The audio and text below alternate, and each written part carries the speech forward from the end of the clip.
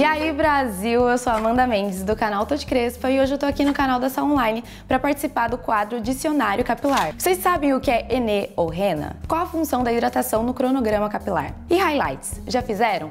Se tudo isso tá saindo muito estranho, vocês não estão entendendo nada, fiquem tranquilos, porque hoje eu vou explicar tudo para vocês aqui no Dicionário Capilar com a letra H. Mas antes de qualquer coisa, se inscreve no canal da Sal Online, ativa as notificações e fiquem ligadinhos aqui.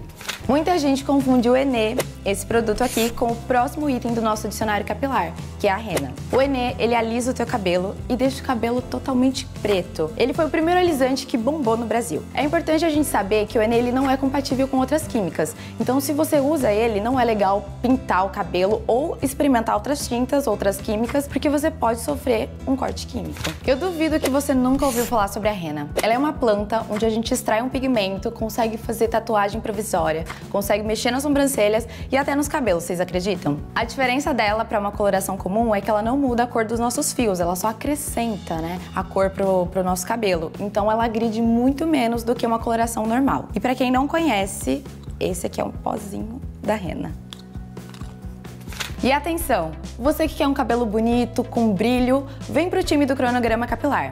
Hidratação é a etapa que você mais vai fazer. E sabe por quê? Porque ela repõe a água dos nossos fios. Se os nossos fios estão sem água, eles ficam opacos, totalmente apagados. E não é isso que a gente quer. A gente quer um cabelo brilhoso, babadeiro, pra causar. E eu trouxe aqui pra vocês um produtinho de hidratação para cabelos cacheados e outro para cabelos lisos. Eu vou deixar aqui na descrição do, do vídeo o link para vocês acessarem, saberem mais sobre esses produtos. A gente consegue ter um cabelo poderoso, gente, cheio de brilho, cheio de vida, usando esses queridinhos aqui. Você já pensou em dar uma iluminada no cabelo? Fazer umas mechinhas pra dar aquele poder a mais pra cor dos nossos cabelos naturais? Pois então você pensou em highlights, que nada mais é que um nome gringo, né, pra essa coloração. É uma opção bem legal pra quem quer mudar, mas não quer usar tanto.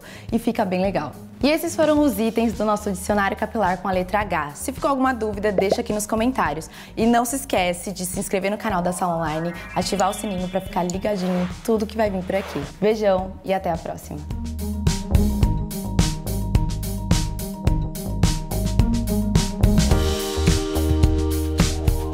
Você que acabou de assistir o meu vídeo Dicionário Capilar com a letra H, não deixe de conferir toda a programação da Sala Online. É só clicar aqui. Vem, vem, vem!